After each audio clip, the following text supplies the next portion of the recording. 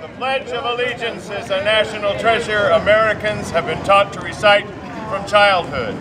In that spirit, we invite all children, our young citizens, to please come forward and assist us in leading the Pledge of Allegiance. Ladies and gentlemen, please join us in reciting the Pledge of Allegiance. You all know what to do? Okay, right hand.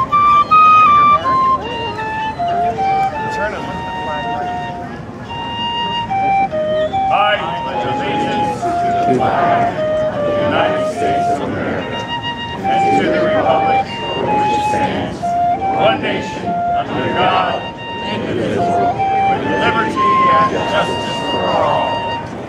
Let's hear it for